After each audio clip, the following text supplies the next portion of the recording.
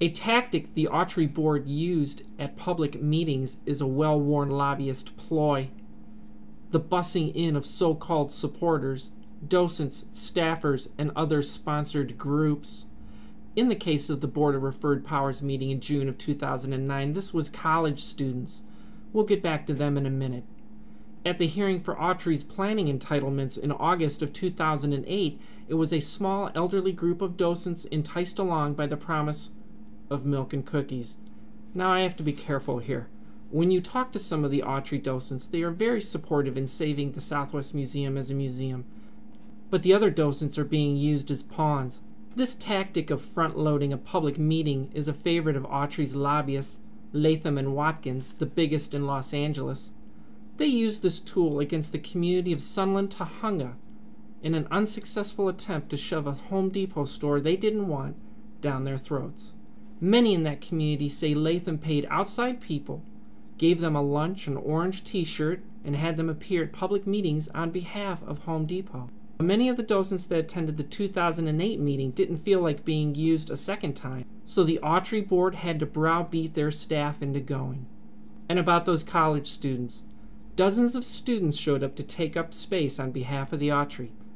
For extra credit, was the Autry to make a special donation to a student trip or event, or some faculty fund drive? The bottom line on all this?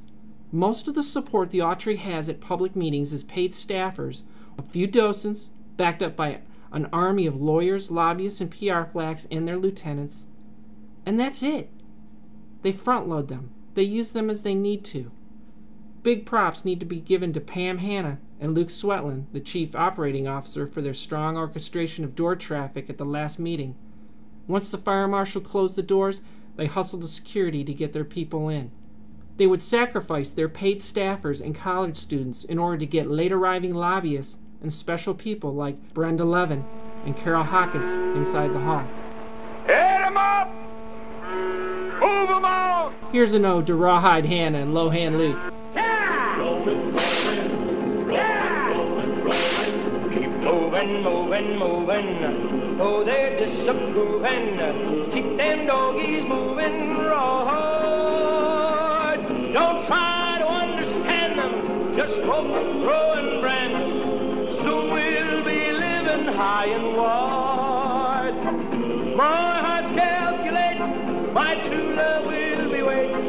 Be waiting at the end of my ride. Move 'em on, hit 'em up, hit 'em up, move 'em on, move 'em on, hit 'em up, rawhide. Cut 'em out, ride 'em in, ride 'em in, let 'em out, cut 'em out, ride 'em in,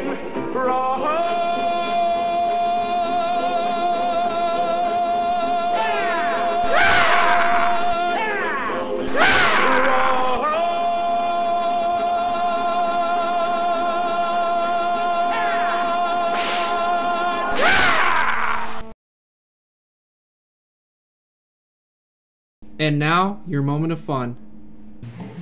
You know, it's a very interesting thing. I do not come from the museum world. I have a corporate background. And that most mergers truly come down to economics.